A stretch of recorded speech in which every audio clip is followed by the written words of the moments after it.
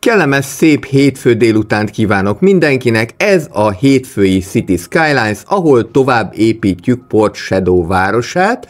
A mai alkalomra egy igazán inspirációs részt hoztam nektek, ennek az alapötlete az volt, hogy megépítettem az előző részekben ezt a gyárnegyedet, de lehet látni, hogy eléggé csúnya, úgyhogy a mai alkalommal megpróbálok ebbe életet lehelni, és ebben segítségemre lesz a City Skylines 2 oldalán megtalálható inspirációs videó, amely abban fog segíteni, hogy ezt a gyárnegyedet kicsikét csinosabbra építsük, illetve jobban nézzen ki.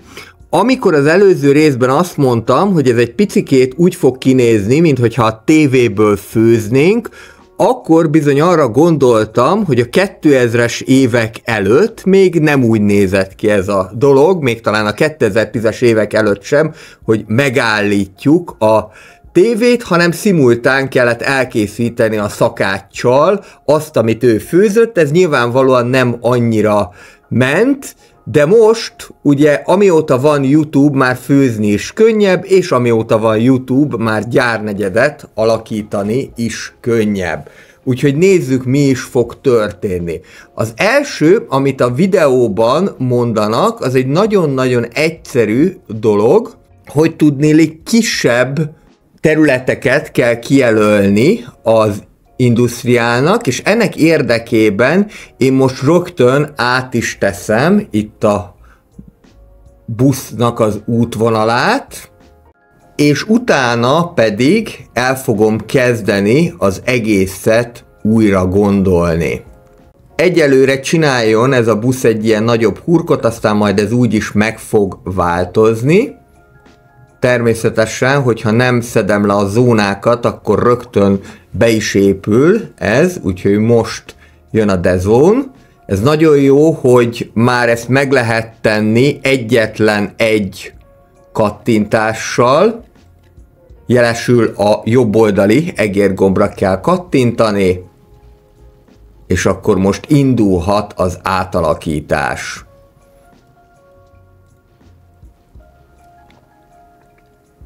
Eleve nem fele-fele fogom felosztani a zónákat, hanem legyen mondjuk ez a nagyjából kétharmad, egyharmad, és a kis utcákat is nem a hagyományos saktábla szerűen fogom meghúzni, hanem mondjuk egy ilyen fogas, fűrészfogas módszerrel.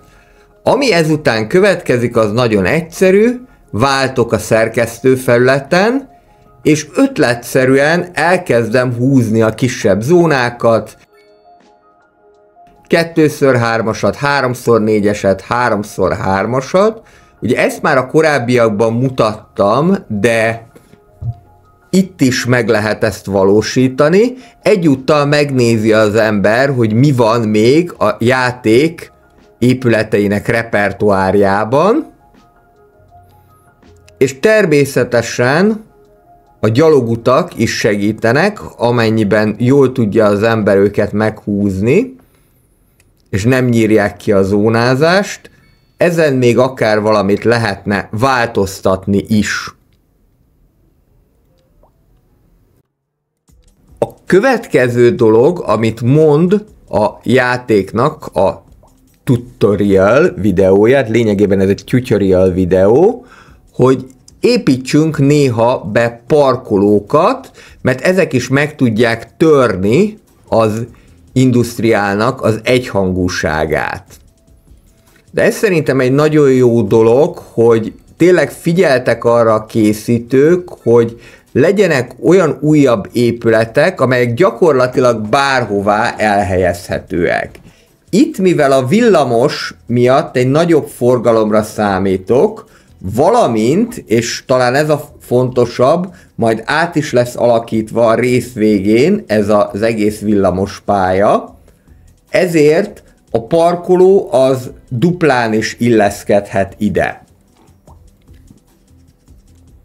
Tovább folytatom ezt a eltérő nagyságú zónázást, és megpróbálok pár gyalogutat is közé építeni, csak úgy ötletszerűen, nem baj, ha itt van egy zsákutca is, maximum majd este nem megy oda senki.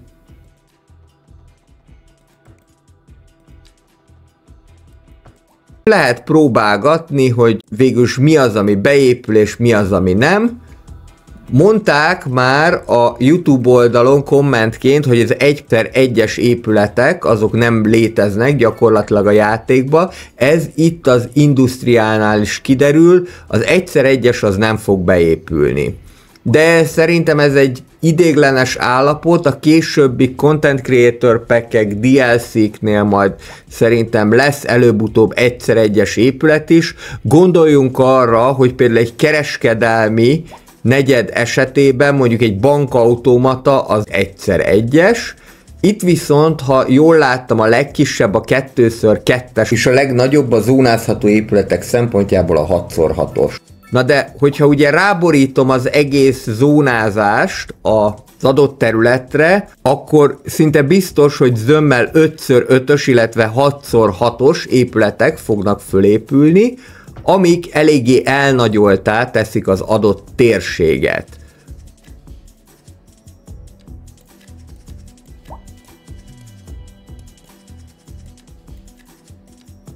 Úgyhogy ezért jobb, hogyha váltunk erre a szerkesztő típusra, hogy kockáról kockára rakjuk le az épületeket, ahova pedig már végképpen nem fér semmi, oda jöhetnek a fák. Az egy érdekesebb kérdés, a City Skylines 1-ben az industriál, vagyis a gyári park környékén levő fák azok mindig kicsit sárgábbak voltak, kicsit sápadtabbak voltak, vagy adott esetben teljesen kopaszok voltak, hogy itt majd, hogyha megnőnek a fák, mert City Skylines 2-ben ugye nő, meg kell, hogy nőjenek a fák, akkor hogyan fognak kinézni. És akkor így már az első részével készen is vagyunk.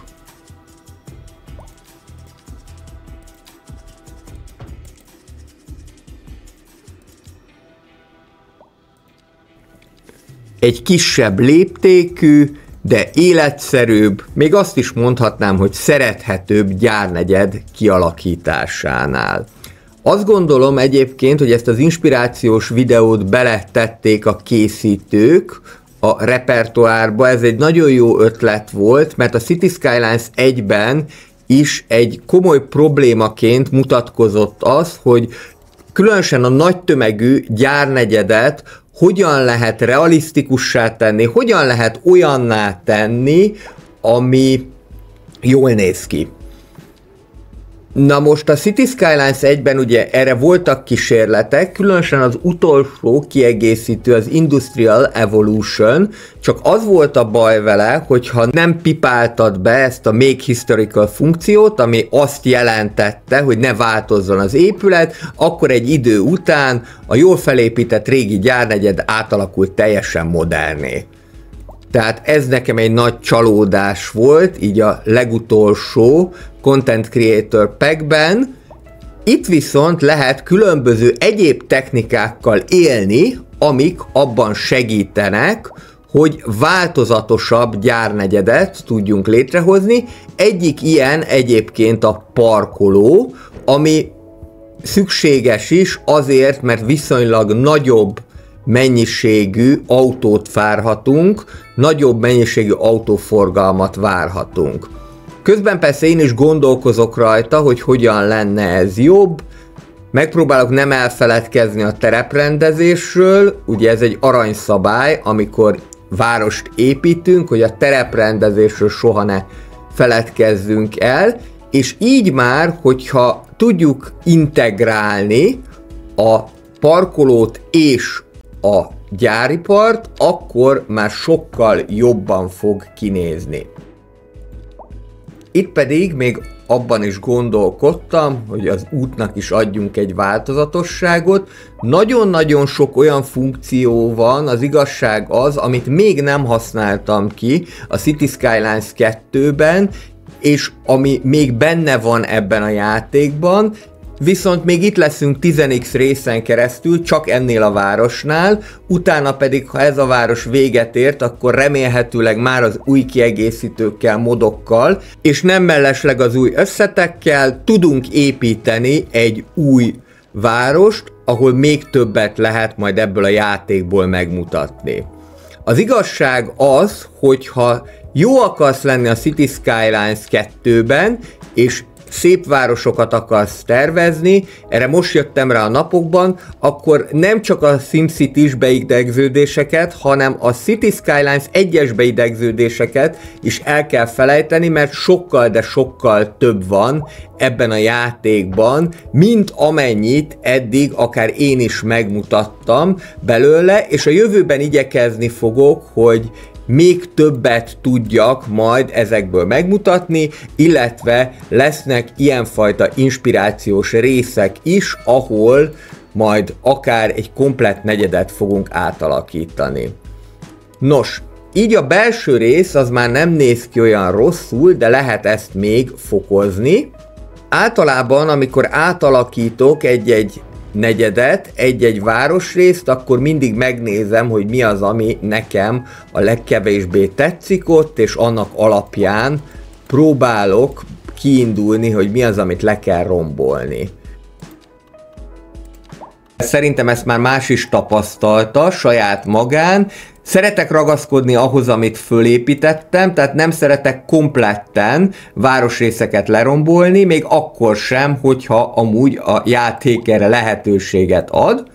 A következő technika, amit mutatott ez az inspirációs videó, és amit most meg is fogunk valósítani, az az, hogy mivel ezek a kőbányák bárhová letehetőek, mert nem igényelnek erőforrásokat, ezért próbáljuk meg a kőfejtőket és a gyár negyedet egymással vegyíteni.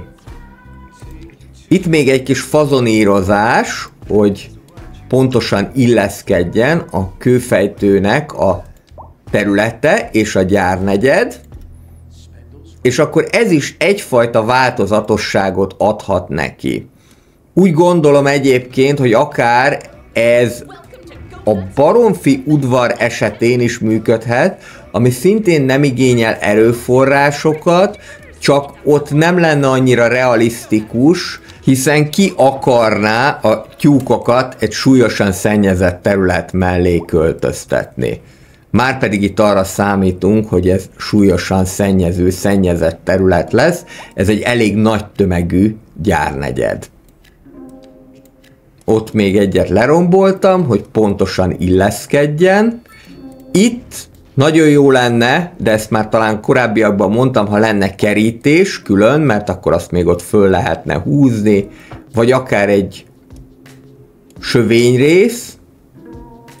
Ennek hiányában most fákat fogok ide telepíteni.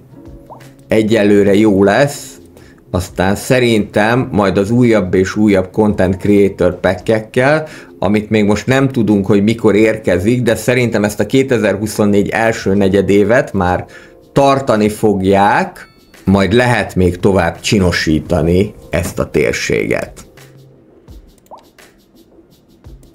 A kőbányák tehát szintén olyanok, amik kis változatosságot tudnak adni, és tényleg ezek úgy néznek ki jól, hogyha szerencsés esetben szorosan a gyárnegyedhez tudnak kapcsolódni.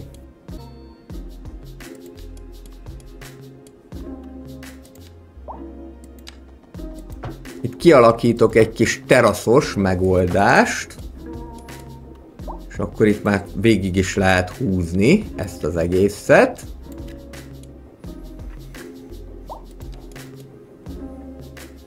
Vannak még egyébként egyéb dolgok, amikkel változatosabbá lehet tenni a gyárnegyedet. Ilyen például, hogy nagyon jól néznek ki a különböző buszgarázsok, de akár a villamos remíz is a gyárnegyed vonatkozásában.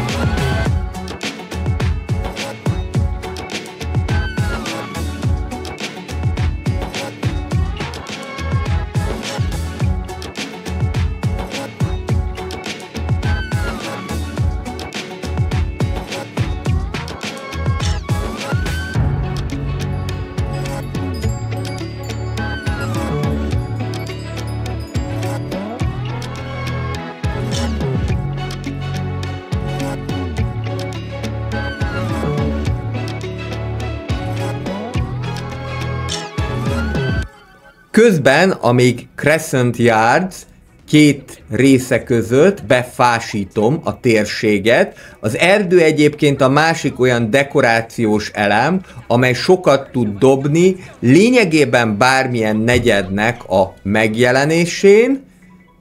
Szóval a nagy erdő telepítési munkálatok közben beszéljünk akkor arról, hogy mi újság a City Skylines 2-nek a házatáján, a szokásos heti aktualitások következnek. Nem tudom, hogy észrevettétek-e, de különösen, hogyha ráközelítek a játékra, akkor ez nekem, annak ellenére, hogy elvileg nem volt semmilyen hivatalos patch a legutóbbi hét óta, de ez nekem már sokkal jobban néz ki, sokkal kontúrosabbak az épületek, talán részletgazdagabbak is, pedig tényleg csak pár napja játszottam vele, és lehet azt is látni, hogy a nagymértékű bevétel problémáját is megoldották, majd ezt a későbbiekben fogom mutatni, hogy most már sem a betonnal kapcsolatos gyártásból, sem pedig a konzerv élelmiszerek termeléséből nincsen túlságosan nagy profitom, tehát már nem ilyen 100 milliókról beszélünk, de lényegében ez teljesen mindegy, hiszen az előző részekben már annyi pénzt sikerült szerezni, hogy úgy mondjam, a játék hátralevő részében nagy valószínűséggel már kenyérre nem lesz gondom.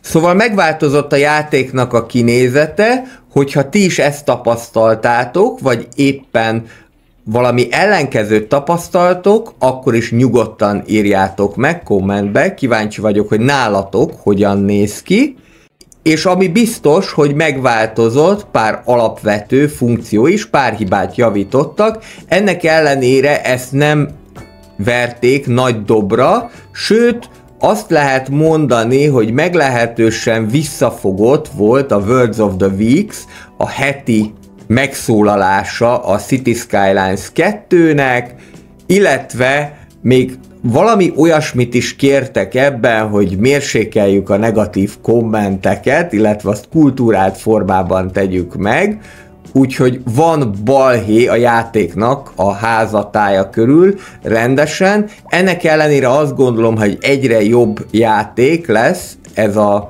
az egész City Skylines 2, és tényleg vannak benne nagyon jó inspirációs lehetőségek. A következő részre szintén azt gondoltam, hogy gyári part fogok telepíteni, de aztán láttam, hogy bizony itt a gyári parnak akkora nagy keletje már nem lesz, úgyhogy így áttértem inkább az irodákra. Az iroda az, amit talán nem panaszkodik a légszennyezettség miatt, Természetesen, mivel ez egy külvárosi rész, nem a magas nagy irodákra kell gondolni, hanem csak a kisebb irodákra.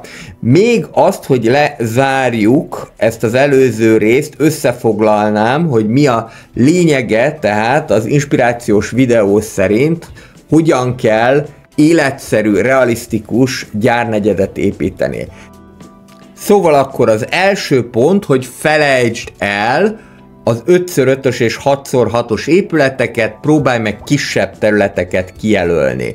A második pont, hogy színesítsd parkolókkal a gyárnegyedet, különösen olyan helyeken, ahol erre nagyobb igény mutatkozik, például közlekedési csomópontokban.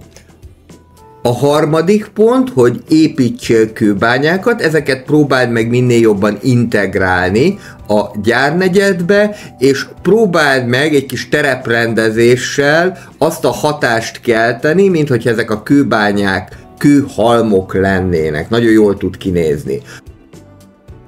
A negyedik pont, hogy különböző a gyárnegyedhez illeszkedő épületekkel, mint buszgarázs, villamos remiz, vagy akár újra hasznosító központ, színesítsd az egész negyednek a képét. És az ötödik pont, amit én itt most nem valósítottam meg, de amúgy nagyon hasznos lehet, hogy próbálj meg kisebb léptékben gondolkodni, ami azt jelenti, hogy nem kell ilyen monolit módon lerakni a gyárnegyedeket, hanem csak egy-egy ipari üzemet, az lehet akár nagyobb, 5x5-ös, 6x6-os is, és köré egy-két ilyen épületet, és akkor nem alakulnak ki ezek a monolit épületek. Itt már keverve építem meg a gyárnegyedet, illetve az irodákat. Egészen egyszerűen azért is, mert nem mutatkozik már igény itt a gyárnegyedre. Ez egy nagyon jó kérdés, hogy miért nem. Lehetséges, hogy azért nem, mert nem akarnak egymás konkurenciái lenni, ide viszont nagyobb részt irodanegyedet szeretnék már letenni. És egyébként ez abból a szempontból is hasznos, hogy a játék az ugye úgy működik, hogy a nyersanyag termelők, vagyis a speciális industri ériák kitermelik az erőforrásokat, utána ez megy tovább az industriázónba, vagyis a gyárnegyedbe, akik késztermékeket állítanak elő, és aztán ezeket a késztermékeket, illetve a nyersanyagokat viszik az irodákba, amik pedig az immateriális javakat állítják elő. Most ugye ez egy számviteli kifejezés, de a játékban tényleg így jelenik meg, hogy immaterial goods, úgyhogy néztem is nagyot, hogy mi ez, hogy immateriális javak, de hát ezek a szolgáltatások, tehát erőforrások és késztermékek kellenek, az immateriális javak előállításához a játékban, tehát ebből a szempontból is hasznos lehet az irodákat a gyárnegyed mellé rakni. Nagy irodákat mondjuk nem raknék oda, vagy azt nagyon meg kéne gondolni, hogy hogyan helyezzem el, mert nem akarom a látványt tönkre tenni, tehát ez egy külvárosi rész egyelőre, az is nagyon sokat számít egyébként, hogy az ember hogyan építi meg a az adott épületnek, illetve az adott negyednek a környezetét, mert egy szomszédos erdő, vagy egy negyedet körülvevő erdő, vagy akár egy szomszédos negyed is sokat tud dobni a megjelenésén. Most, amit itt csinálok, az, amit mindig el szoktam felejteni, a tereprendezés, és úgy gondoltam, hogy mivel kisebb mértékű igény mutatkozik a kereskedelmi negyedekre is, ezért teszek bele egy kis kereskedelmi negyedet is, ha Béla megéhezik a szállítószalag mellett, akkor tudjon ide kijönni grill csirkét enni. Ez volt az elgondolás és akkor így vegyesen rakom le. Az az érdekes, hogy annak ellenére, hogy abszolút nem mutatkozik kereslet a térségben, a gyárnegyed iránt mégis megépülnek. Lehetséges, hogy ez is olyan késleltetéssel jelenik meg, mint az iroda, de az az érdekes, hogy miután az iroda, ahol pirosan jelenik meg egy idő után kivilágosodik, itt a gyárnegyed még a későbbiekben sem. Tehát ez vagy egy bug a játékban, vagy csak azért épül oda a gyárnegyed, mert hogy viszont ilyen iszonyatos kereslet van általánosan az ipari létesítmények iránt. Ez is egy érdekes dolog. Ugye mondtam, hogy a City Skylines egyben egy bizonyos városméret fölött lényegében már nem kellett gyárnegyedet építeni, itt pedig most már mindjárt a 30 ezernél vagyunk, és mégis megjelenik. Ide tehettem volna ide középre egy nagyobb parkot is, de aztán úgy gondoltam, hogy egy kicsikét diszkrétebben alakítom ki ezt az egész térséget, és így szerintem jobban is néz ki. Van egy ilyen közbenső park, ami az iroda negyedeknek el is megy, az egy kérdés, hogy majd fogják-e használni, de valamivel meg akartam törni ezt az egyhangúságot. Továbbá várok majd egy inspirációs videót a City Skylines-tól, hogy hogyan dobjuk fel az iroda negyed egyhangúságát, de azt gondolom, hogy már majd én is gondolkodni fogok ezen. És annak következtében, hogy ennyi új iroda épült, sikerült is kioldanunk egy újabb signature buildinget, ez a Principles névre hallgat, amit ide fogok a térségbe lerakni, de egyelőre még gondolkozom, hogy hova is lenne jó, oda nem fog elférni, úgyhogy ennek hiányában egy kicsit kiebb tettem a gyárnegyettől.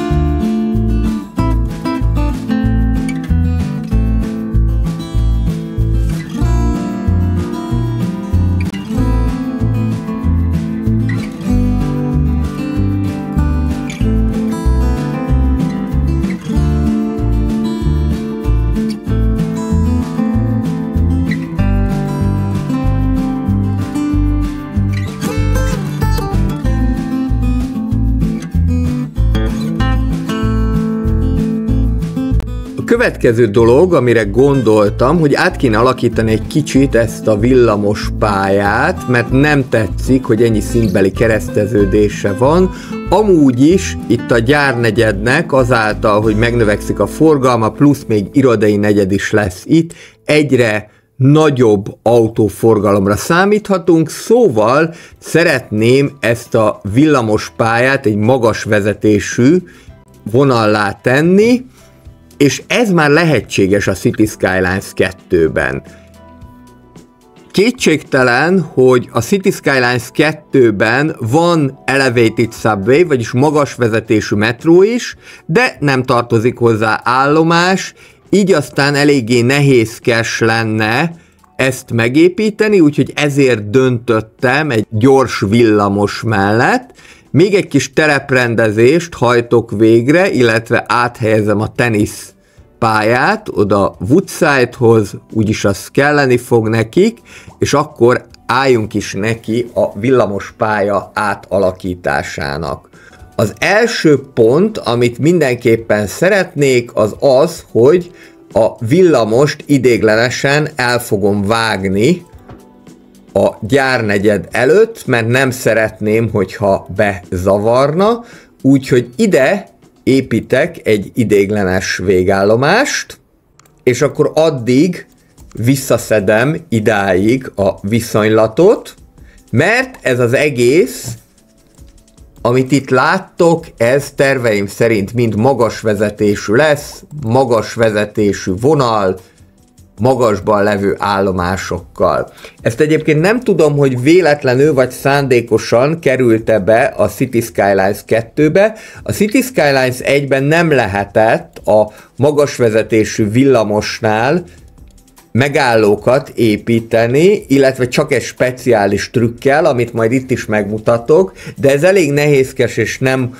annyira szép, csak úgy volt ez lehetséges, hogyha egy modot letöltöttél méghozzá az Elevated Stops Enabler-t, ami lehetővé tette azt, hogy felüljárókon, hidakon, alagúton azt hiszem, hogy még mindig nem, tehát alagútban még mindig nem, de felüljárókon és hidakon akkor lehetett megállót létesíteni. Most nagy szerencsére ez a City Skylines 2-ben már alapból benne van a játékban, mondom nem tudom, hogy véletlenül hagyták-e be, vagy szándékosan, de mindenképpen, hogy bele tették, ezt jól tették, mert sok változatosságot tud adni a játéknak, és hát elvégre már olyan kisebb városokban, mint Brno, vagy magyarosan Brünn, is találhatóak magas vezetésű villamosok, hidakon található állomások.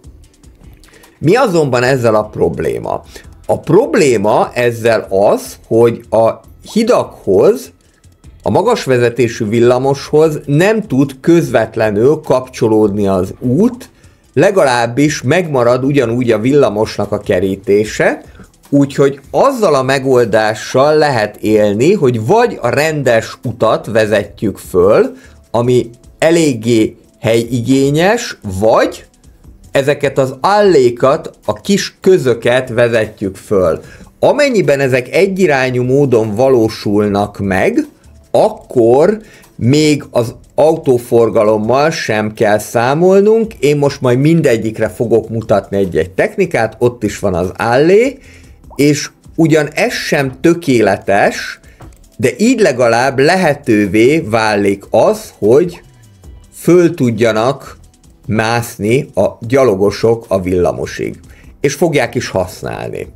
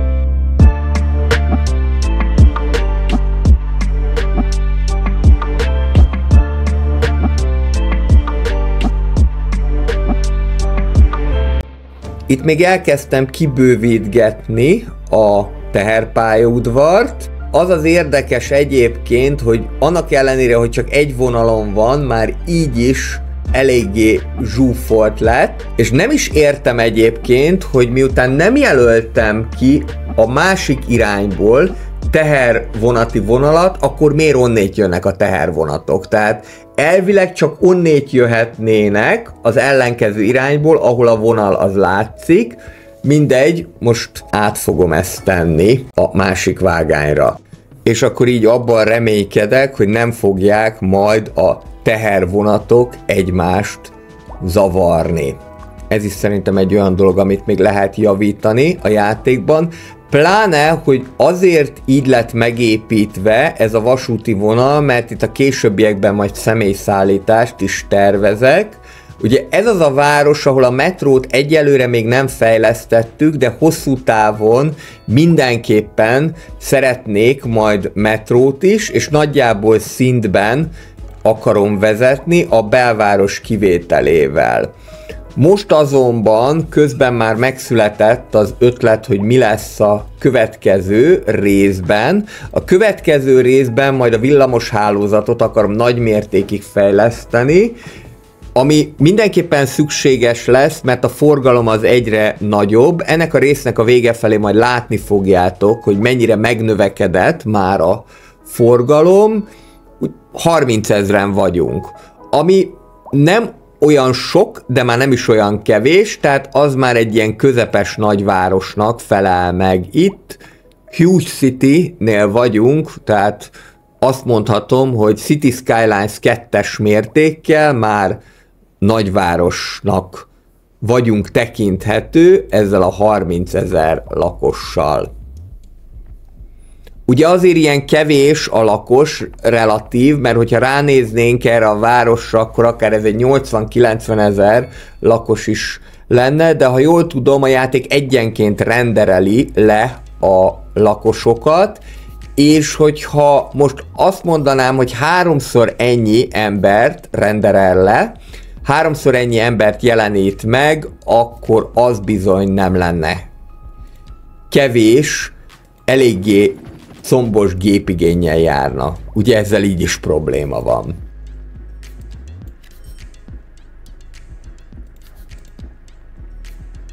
Most itt azt nézem, hogy miért nem jönnek ide a villamosok, pedig meg lett építve a viszonylat, és aztán meglepődve tapasztalom, hogy hát ez itt nagyon bedugult.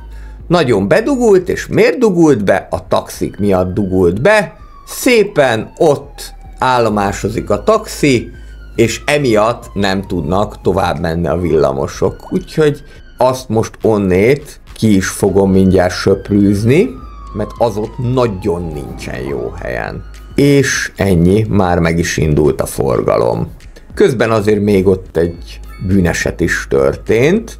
Ugye ez lesz majd a következő, a development pointjaimat azért költöttem el a rendőrségre, hogy majd azt is tudjam fejleszteni.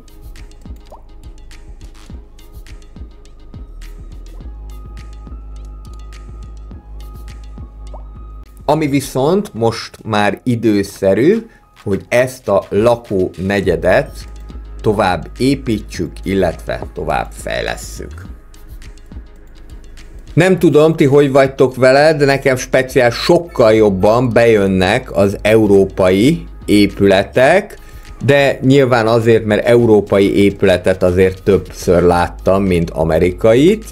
Voltam Amerikában is, de mondjuk csak idézőjelben New Yorkot és Washingtont, illetve a kaszinóiról híres Atlantic City-t láttam, ami nem annyira híres, mint Las Vegas, de annó a rák, illetve a különböző tengeri herkentyűk azok nagyon jók voltak.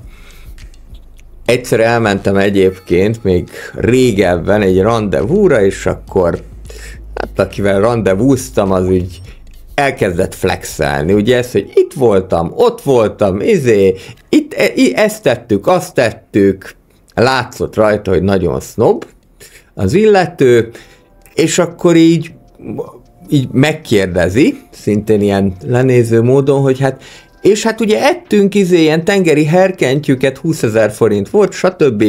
Hogy hát, és hogy, hogy te ettél ilyeneket? És akkor így a válasz az volt, hogy nem, Európában nem, csak Amerikában. Onnantól kezdve néma csend.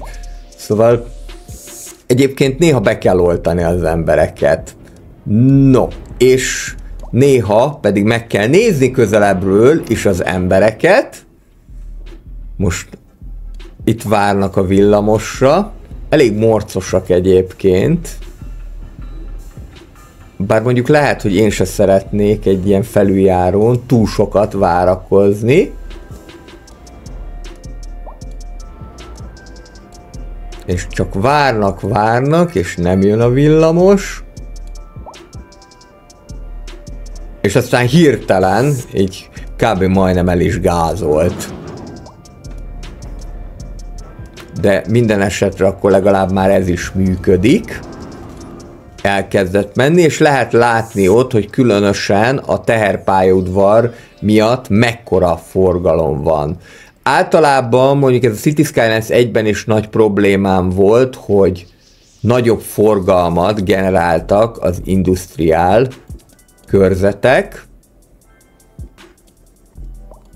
és akkor amit még nézek, hogy hogyan is lehetne ezt a szeméttelepet kibővíteni, illetve oda rakni még egy tárolót, ugye ezeknek van egy ilyen hatókörük, vagy akciórádiuszok, amit ott barna körrel jelez a játék, tehát körülbelül ennyire lehetne bővíteni. Lehetne a föld alá helyezni a teher vonatod, de nem lenne túl realisztikus, úgyhogy megelégszem ezzel. Próbálok itt építeni valamilyen tároló egységet, de ezt így visszaszedegetni, ez egy pokol, úgyhogy ezért inkább azt döntöttem, hogy azok után, hogy megépítem a második kiáratát a villamos megállónak, építek egy ilyen recycling centert, vagyis egy újrafeldolgozó üzemet,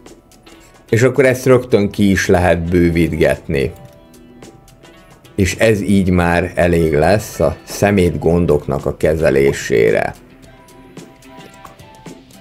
Mondjuk ezt nem csak azért csinálom, mert olyan bődületes nagy szemét gondjaink lennének, hanem egyrésztről szerintem ebben a külvárosi környezetben jól néz ki, másrésztről tapasztalati pontokat is kapok érte.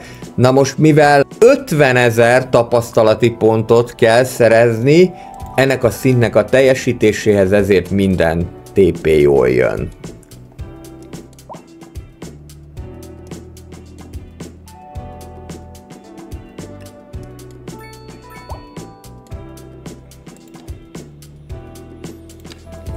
Amit már az előbbiekben is mondtam, hogy leesett a bevételem, mert most már nem számolja föl ezt a túlságosan nagy bevételt a konzervipar, illetve a betongyártás után, azt most meg is tudom mutatni, így is azonban egy óránkénti százezres bevétellel tudok számolni, itt keresem is, most már nem 100 milliókat keresünk ebből, hanem összesen lement egy szerény 35 ezerre, illetve ugyanez a helyzet a betongyártásnál is.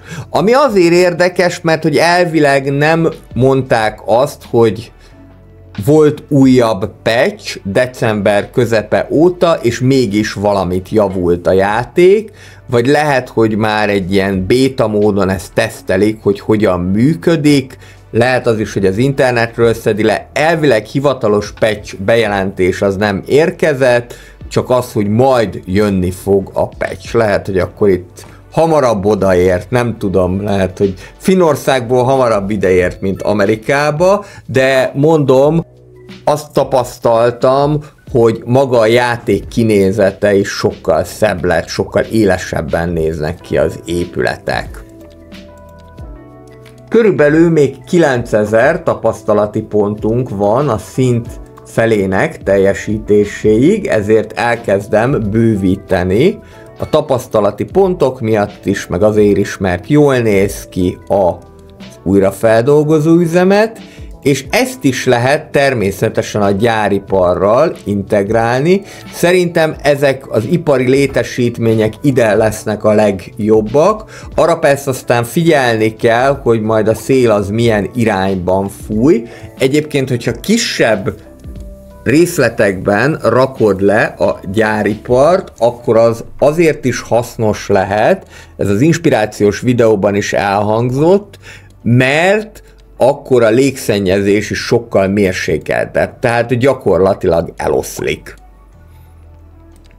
Úgyhogy most így hirtelen ezt alkottam a gyárnegyeddel, aztán lehet, hogy a későbbiekben majd ez még változik, de valószínűleg ez a kicsit monolitabb rész, ez meg fog maradni. Ugyanúgy még oda egy parkolót emeli a Principles iroda mellé. Tapasztalati pontot is jelent, meg kis változatosságot is ad. Egyébként ez az egyik kulcsszava szerintem a városépítésnek ez a változatosság, és mivel immáron 11 darab zónával gazdálkodhatunk, ezért ez a változatosság ez meg is valósítható ebben a játékban. Mondom, messze többre jutott ez a játék már most, mint a City Skylines 1-ben, messze több lehetőségek vannak, de nyilván, hogyha majd megjelenik, és remélhetőleg előbb-utóbb megjelenik az egysínű vasút, a magas vezetésű metró állomás, illetve azt már csak nagyon félve merem megjegyezni, hogy a mélyvezetésű vasúti állomás, mert ugye egy nagyobb városban, különösen, hogyha német városokra gondolunk, az S-bán rendszer, hogy tudnélik az elővárosi vasút az bemegy a föld alá, és ott megáll a város alatt, egy mélyvezetésű állomásban, akár adott esetben a nagyvasúttal, illetve a metróval közös állomást használva, az egy teljesen bevett módszer, illetve ez Amerikában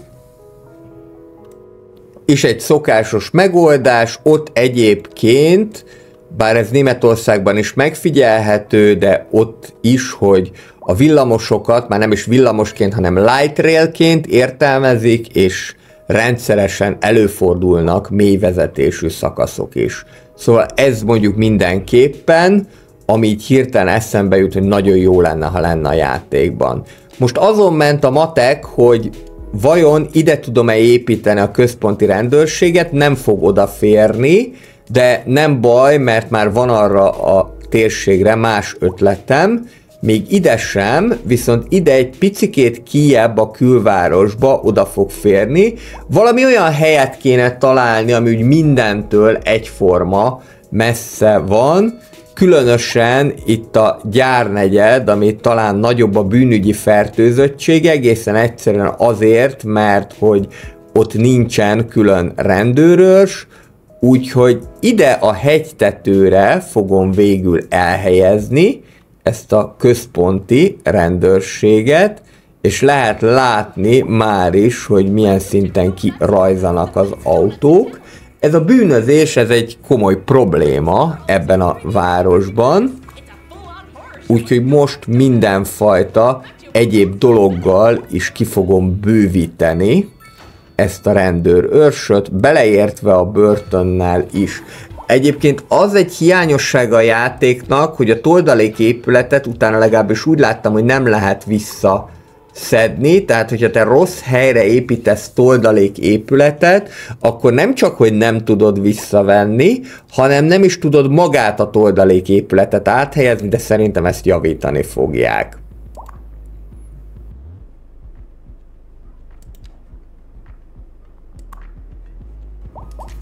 Amit még mindenképpen mutatni akartam, hogy itt lehet látni, hogy túlságosan közel van az útkereszteződéshez a villamos megálló, aminek következtében a villamosot nagyon halványan lehet látni, de most itt a villamosnál is látjátok, vágányt vált, úgyhogy ezt mindenképpen messzebb kell rakni, Egészen egyszerűen azért, mert hogyha egy útkereszteződést csinálsz, akkor ott automatikusan a játék csinálni fog egy szaknyelven ezt úgy hívják, hogy visszafogási lehetőséget.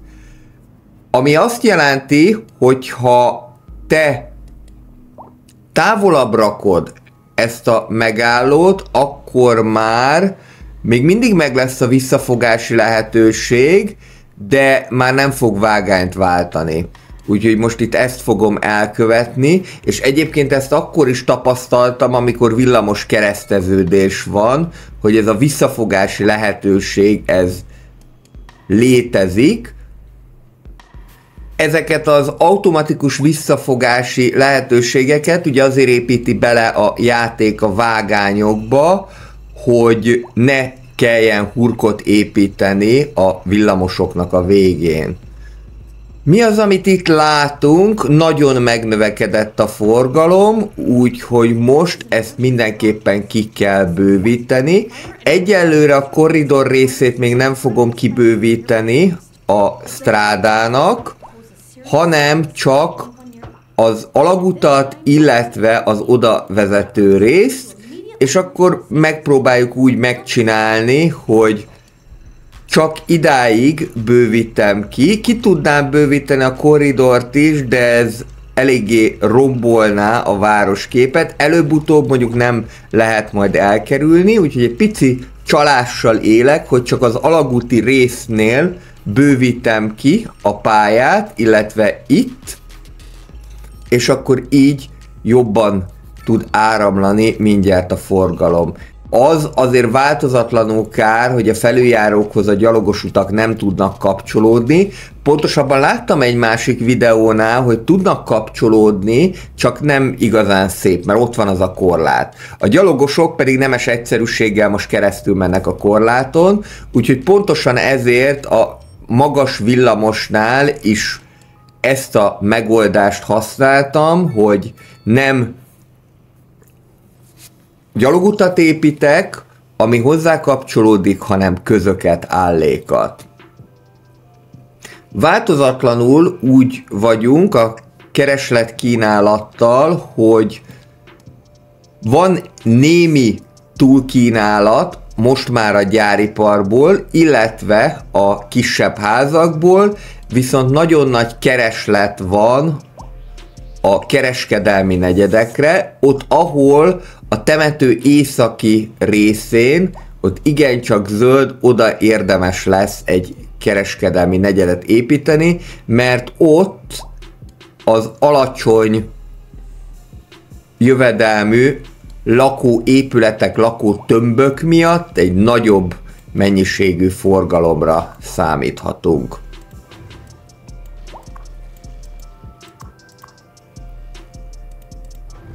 Az is egy érdekes kérdés egyébként, hogyha majd ezek az épületek fölfejlődnek, és mondjuk ezek ötös szintűek lesznek, akkor vajon még ki fogják-e tudni fizetni az bérházakban élők. Na ez lesz a megfelelő kifejezés, ez a bérház tulajdonképpen, erre az alacsony jövedelmű nagy lakótömbökre, a bérház mivel a medium rezidentálokra való kereslet szépen visszajött, ezért most az egyetem város mögötti lakónegyedet fogom fejleszteni, a továbbiakban is medium rezidentálokkal, illetve kis sorházakkal.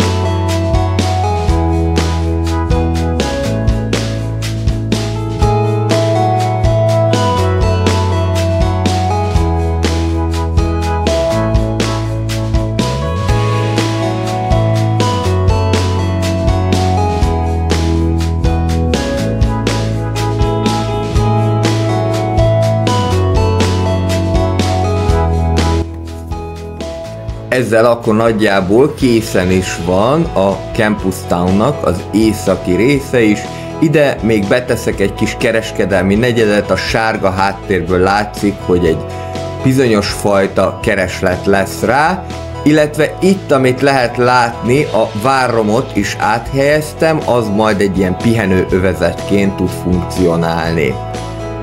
Amit még szerettem volna ebben a részben, mert a szintnek a felét mindjárt teljesítjük, elérjük a 25 ezer XP-t, hogy áthelyezni a villamos megállót, és akkor így megszűnik a vágányváltási probléma, a visszafogási lehetőség az ugyanúgy megmarad, de már nem fog vágányt váltani a villamos, amikor a megállóhoz odaér, és ezt ugyanígy itt a gyárnegyed városhoz közelebbi részén is el fogom játszani.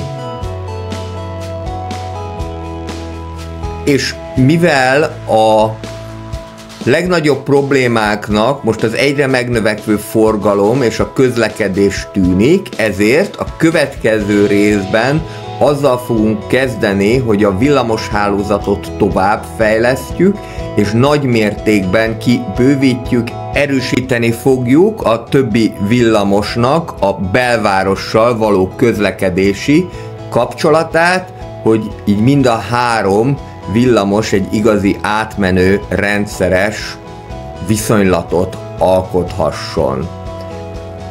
Ezzel én megköszönöm a mai napi figyelmeteket, hogyha tetszett ez a videó, akkor nyomjatok egy lájkot, kommenteljetek, illetve iratkozzatok föl a csatornára. A szerdai nap még befejezzük az Espresso Tycoon, pénteki nap pedig befejezzük a Dűne a Traders házat, és utána pedig hétfőn újra City Skylines, illetve hétvégén még lesz egy meglepetés tartalom is. Na gyertek velem, villamosozzunk egyet! Sziasztok!